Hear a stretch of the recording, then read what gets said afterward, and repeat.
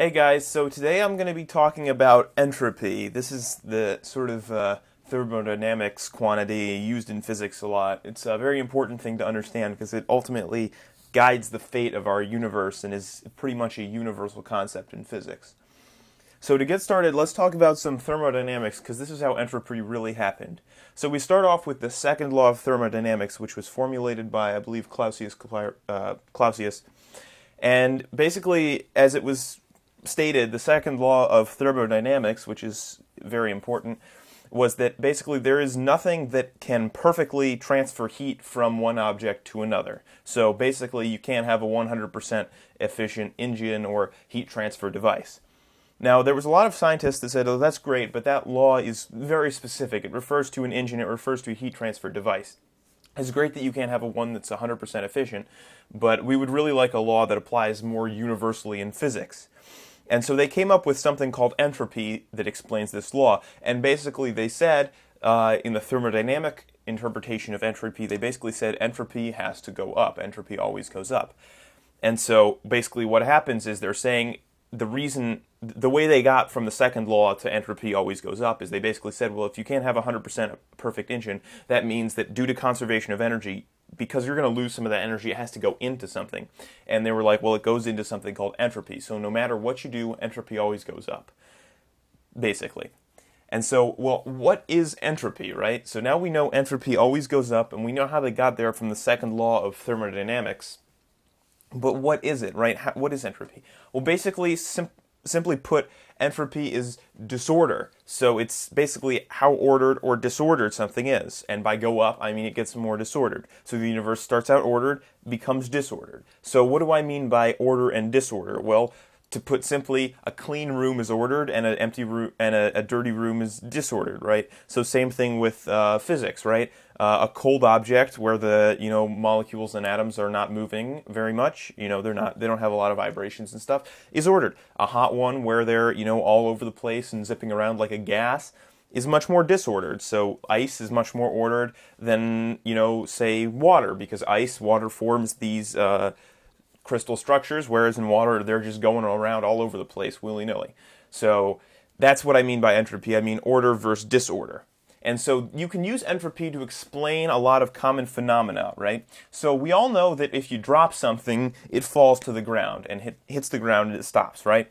But you never see something on the ground come back up and then to where, you know, to higher than it was before. Now, why does that not happen? Well, most people say gravity pulls it down which is true, but you can explain this via entropy, right? As you drop the rock, right, the potential energy of the rock is converted into kinetic energy. Okay, so it has some kinetic energy just before it hits the ground, right? And then when it hits the ground, that kinetic energy is all converted into sound and to thermal energy, right, of the rock. So it hits the ground, the rock heats up, or whatever you drop will heat up, right? And so what what's happening basically is you're converting this potential energy into kinetic energy, and this kinetic energy then into mostly thermal energy and a little bit of sound energy. So if you think about it, the entropy for this process has gone up because we have a rock, right? And then its molecules are moving somewhat, you know. It hits the floor, the thermal energy goes up, its molecules are moving more, so it's gone towards a more disordered state, a higher thermal energy state, okay? And because entropy like this will always go up, right? Uh, that won't ever happen in reverse because the entropy for that process would have to go down, right? So I know what you're saying. You're saying, well, I can take a rock, I can lift it off the ground, I can put it back up, right? Does that violate entropy? Not at all, because while you may have decreased entropy, you've done work. So basically, like you can decrease entropy, right? You can make there be less disorder, but you have to do some work. And ultimately, your doing work will cause the entropy somewhere else to increase, and a net effect will be a net increase in entropy. Now, keep in mind, this doesn't violate conservation of energy at all because you're taking energy that's already there and you're just converting it into another form, usually thermal energy, which increases the entropy. So, what do I mean? Well, because entropy always goes up, right? Heat will flow from a hot object to a cold object. It doesn't flow in reverse, right? So, you would think that because of this, you couldn't move uh, energy, you couldn't move thermal energy from a cold object to a hot object to heat up the hot object and cool down the cool object more. You would think would happen in reverse. Well, no, this is exactly what happens in your fridge and your freezer, right? But the problem is your fridge and your freezer have to do work. And so because they're doing work, the net increase in entropy goes up because they're um, taking this energy and they're using it to do something else. So for, for instance, in your fridge, right? The entropy in your fridge may go down because it's taking it and it's cooling it down.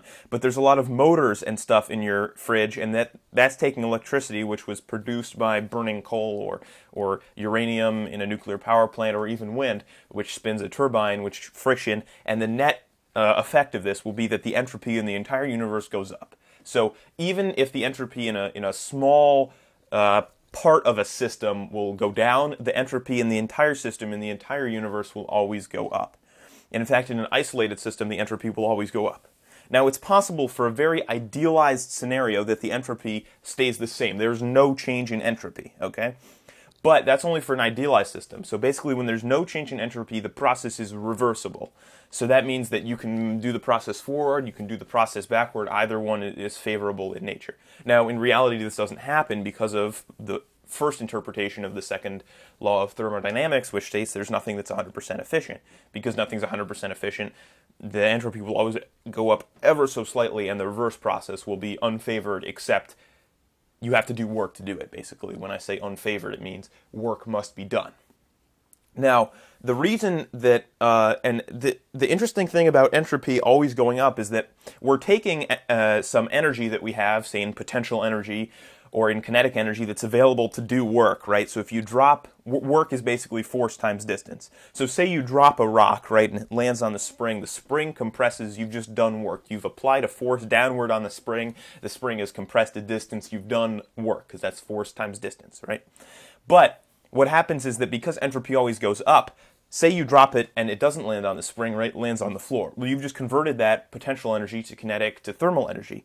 That thermal energy is no longer usable to do work, right? You can't make this slightly hotter rock do any work now. So basically, you decrease the amount of energy that's available to do work, and you instead increase the amount of thermal energy. Now, I know thermal energy is available to do work, but that's only when there's a difference in thermal energy, and basically the temperature will tend to equalize very quickly. Uh, especially if you've dropped the rock from you know any noticeable height, you know like a few meters or so, your rock's not going to heat up very much. There's not really going to be a whole lot of work done there. So the net effect is that there's less energy available to do work. And eventually, the universe is going to end up in an extremely disordered state. So, basically, like a gas, that's a, the most disorderly state, or a, a, plasma, or something like that. And so, basically, everything's going to be at the same temperature because all of the energy in the universe is going to be converted into thermal energy because that's not available to do work. So, you can't convert that back into other kinds of energy. And unless you do work, of course, but since there's no energy available to do work, can't do it.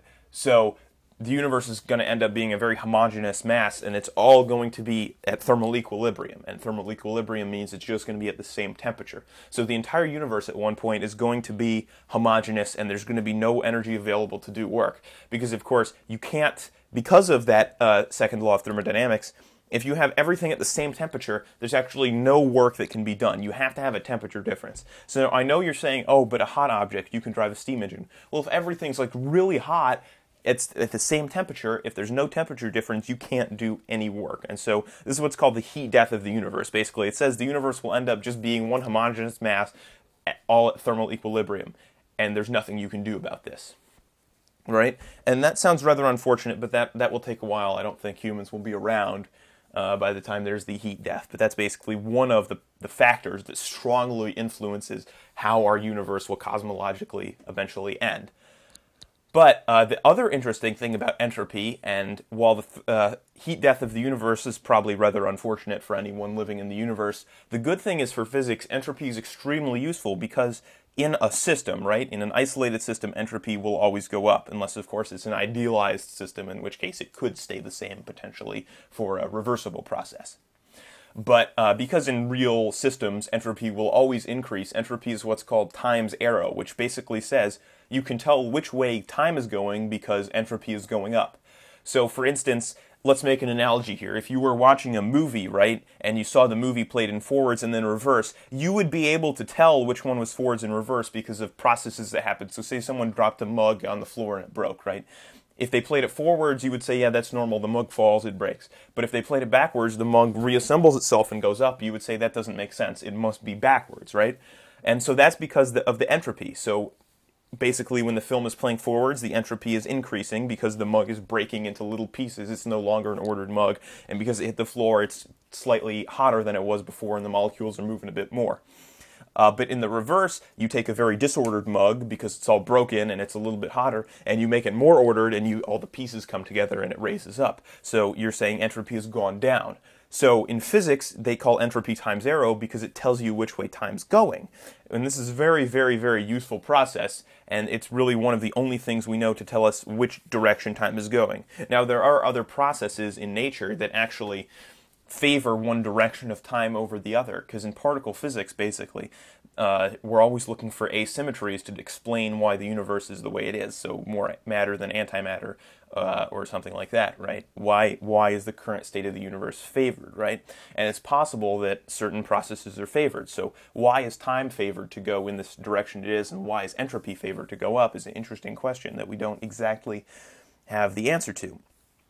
Um, but what the interesting thing is is that regular particles uh, basically can move around in time forwards, right? But if you take a regular particle, say an up quark, and you move it through time backwards, it suddenly becomes an anti-up quark. So you can almost say that entropy can determine whether a particle is a particle or an antiparticle because if the entropy is increasing, it's a particle because it's moving forward through time, and if the entropy is decreasing, then it's an antiparticle because it's moving essentially backward through time. So basically, that says that a particle moving forward through time is a particle, and something moving a regular particle moving backward through time is an antiparticle. It's it's uh, rather interesting to think about, but that all can be determined via entropy because it is time's arrow and it can tell you which direction time is moving.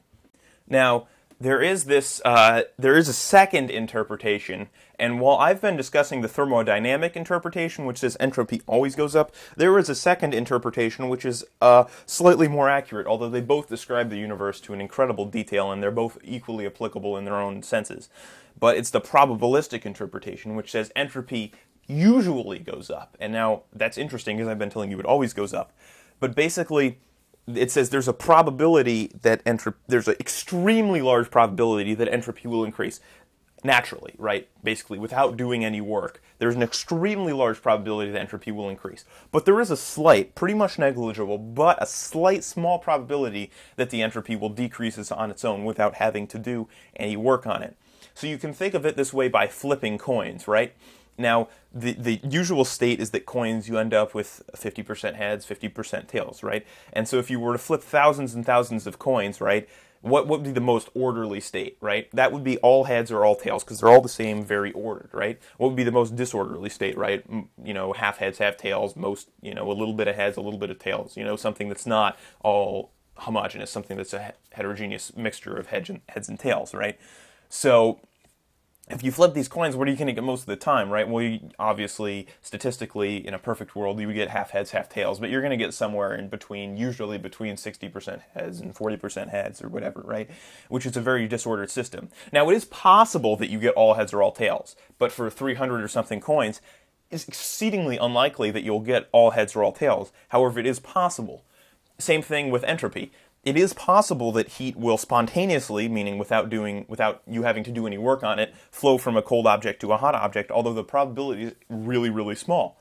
So that means there is a probability that, say, your mug that you dropped on the floor, your rock that you dropped on the floor could rise up, in fact, because and decrease the entropy, although the probability that such a thing happens is exceedingly small. However, it is possible, right? Same thing is that a lake in the summer could spontaneously freeze because the heat would flow from the lake to the air and to the ground, even though the ground and the air are hotter. But the probability that something happens is so small. In fact, uh, the probability is about the same that monkeys type Shakespeare, basically, the entire works of Shakespeare. So pretty much negligible, although it is possible. So if you want to save on your refrigerator bill, you could say it is theoretically possible, although very, very unlikely, that uh, your refrigerator spontaneously cools itself, right? Now it's possible, not likely. I wouldn't suggest it. Your, all your food will go bad, but it is possible. So that's the statistical interpretation of entropy, which means, which still says the heat death of the universe will probably happen, right? But there is a tiny, tiny chance that, in fact, the heat death of the universe doesn't happen. Although, again, the chance is so small that I wouldn't count on it. But yeah, that's kind of a different interpretation of entropy, and they're both saying the same thing because basically one is saying entropy always goes up, and the other is saying there's an extremely large, like 99.9999, you know, repeating percent chance that entropy goes up. Not repeating, because 99.999 repeating is equal to 100, but let's not get into that. But basically, there's an extremely large chance that entropy will go up. There is a very, very tiny, tiny, minuscule chance that entropy will go down spontaneously. Now, obviously, like I said, you can decrease entropy by doing work, but the net increase in the universe has been an increase in entropy. So it's possible that, say, for an isolated system or in the entire universe, net decrease in entropy. However, the probability that something happens like that is exceedingly small. You know, even smaller than the probability of flipping 300 heads when you flip, you know, 300 coins, right? So that's entropy for you. Um, to sum it up, basically, second law of thermodynamics uh, was reformulated from basically no engine is 100% efficient to entropy always goes up. Statistically, entropy usually goes up uh, and entropy will tell you the direction time goes and is ultimately responsible for the death of the universe, at least in most people's interpretations of it, which is called the heat death. And entropy itself is basically disorder. So thanks for watching, and uh, I welcome you to increase the entropy of the universe yourself uh, by watching more of my videos in a random order. So thanks for watching.